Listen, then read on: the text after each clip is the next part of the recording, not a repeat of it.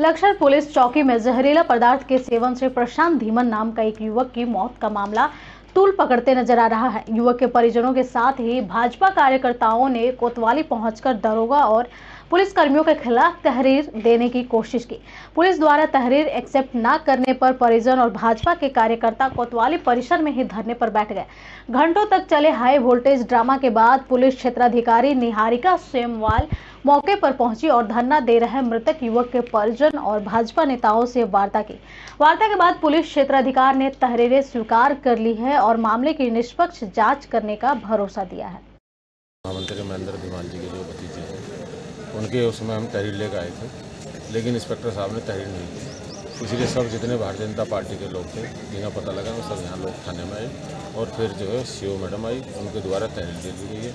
हमारा मानना यह है कि इसकी जाँच होनी चाहिए।